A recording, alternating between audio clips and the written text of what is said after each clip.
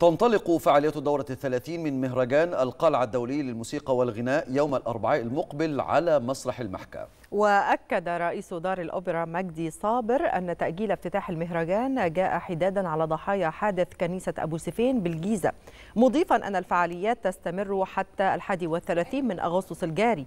وأشار إلى أن حفل الافتتاح يشهد تكريم عشرة شخصيات ساهمت في إثراء الساحة الفنية في مصر والوطن العربي.